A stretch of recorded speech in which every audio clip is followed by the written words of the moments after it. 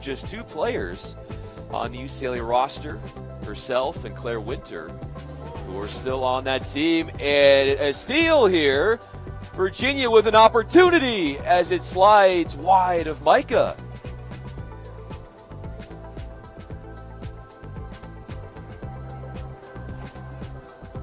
And there's a shot that sails wide. Let's go with another attempt.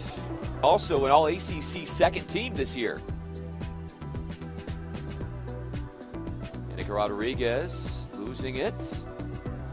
Another second attempt and a diving save. Two goals per game they average. They have scored. And an opportunity. There is Anika Rodriguez. the wings and are the engines, in his words, the brains behind his system out there.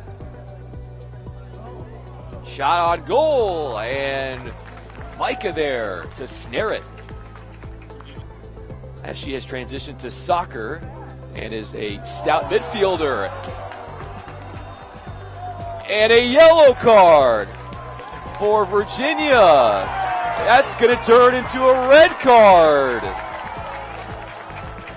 Courtney Petersen is out of the game.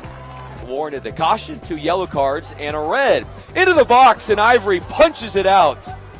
And a strike into the waiting arms of Ivory. A great opportunity. Here is Sanchez.